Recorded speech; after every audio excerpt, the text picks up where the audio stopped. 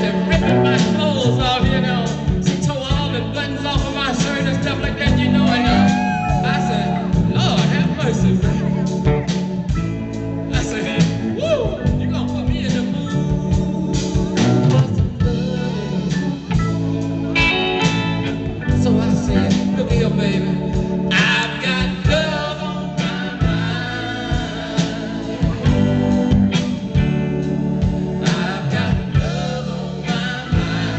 didn't matter.